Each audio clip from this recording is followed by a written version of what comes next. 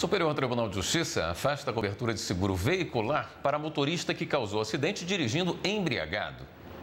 O entendimento confirmou o acórdão do Tribunal de Justiça do Espírito Santo, que considerou legal a exclusão de cobertura do seguro ao motorista. Isso porque dirigir sob efeito de álcool é um dos motivos que pode tirar a responsabilidade da seguradora de pagar a apólice.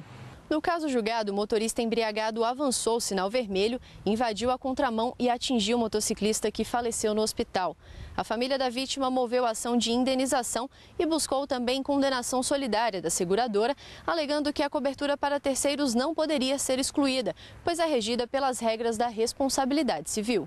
No voto, que foi acompanhado pela maioria do colegiado, a ministra Nancy Andrighi destacou que as seguradoras devem garantir o pagamento a terceiros por danos causados pelo segurado, de acordo com o Código Civil de 2002 mas ressaltou que a interpretação deve considerar o artigo 767 do mesmo Código, que diz que o segurado perde o direito à garantia se agravar intencionalmente o risco de acidente, como é o caso da embriaguez ao volante. O agravo intencional é aquela questão que eu sei que não é, é quase que uma culpa consciente. Eu sei que eu não posso fazer, então eu vou e faço. Então, por exemplo, embriaguez é um exemplo típico disso. Eu sei que eu não posso beber, eu vou beber, dirigindo, lógico, dirijo, efetivamente eu estou agravando o risco. Por que, que a gente coloca que agrava o risco, é um agravo intencional? Porque eu sei que o veículo estando simplesmente na rua, ele pode colidir.